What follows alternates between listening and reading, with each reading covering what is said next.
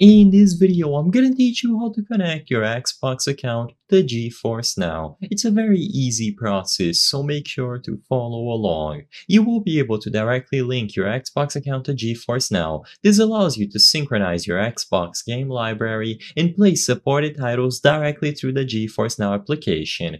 To do this link and synchronize all of your titles, you will need to use the latest version of the GeForce Now application. To my knowledge, this cannot be done on the website but you can try following along.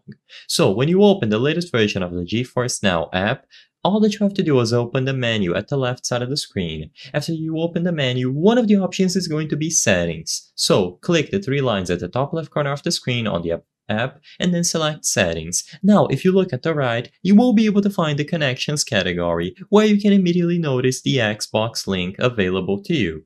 All that you have to do now is click connect and this is going to redirect you to a web browser on an official Microsoft website. You will then have to choose from one of the available emails. If your email is not already signed into then input the username and password, and then proceed. Afterwards, you will see a screen similar to this where you have to authorize the app access from NVIDIA. As long as you read the terms and you agree with everything, the link is going to be established, and when you go back into the settings and you look under connections, it is going to be available for you to access all of your titles. You will be able to disconnect or resynchronize at any time, and this is all you have to do. Just use the latest version of the GeForce Now application to be sure that it works, and you will be able to find the option under the accounts and connections available when you go over to these settings. Once connected, your Xbox game library should now be synced. You can open the Games tab within GeForce Now, and you will see a section or filter for Xbox games or titles